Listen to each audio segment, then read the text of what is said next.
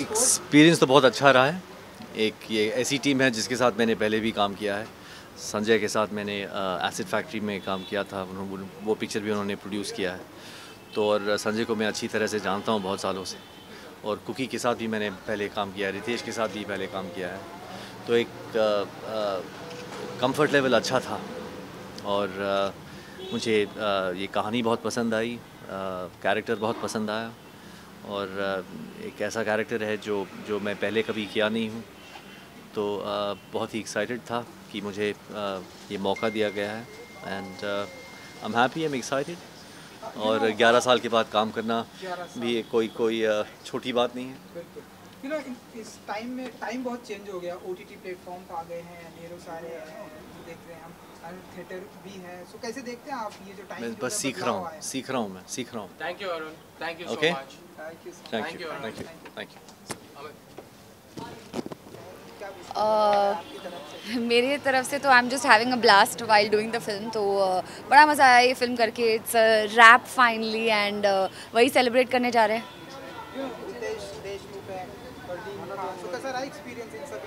बड़ा मज़ा आया। बहुत बहुत ज़्यादा स्वीट अंडरस्टैंडिंग लोग हैं एंड बहुत फ़नी भी है actually Ritesh is really funny Fardeen is so hard working so good Priya is amazing to work with तो I had a stellar cast and Kooki sir was like the best director ever नहीं I think Visfot एक um, बहुत ही emotional roller coaster ride है। ये विस्फोट है emotions um, का रिलेशनशिप का। और uh, मैं बहुत ज़्यादा एक्साइटेड हूँ कि कुकी गुलाटी के साथ मैं पहली बार काम कर रहा हूँ। और uh, मेरे सबसे अज़ीज़ दोस्त फरदीन खान इतने सालों बाद वापस आ रहे हैं। हे बेबी के बाद उनके साथ मैं काम कर रहा हूँ तो मुझे इस बात की बेहद खुशी है। Uh, Sanjay Gupta as producer उनके साथ पहली बार काम कर रहा हूँ। And T series like home production now मुझे लगता है कि एक बहुत ही बेहतरीन ड्रामा है और मैंने इस तरह का किरदार पहले नहीं निभाया तो मेरे लिए काफ़ी एक्साइटिंग है। कुछ कहना चाहेंगे कि कितनी एक्साइटेड होती जब जब इनका कोई प्रोजेक्ट होता है? नो नो आई इस बार विस्फोट है? हाँ I just wish the entire team all the best and I'm.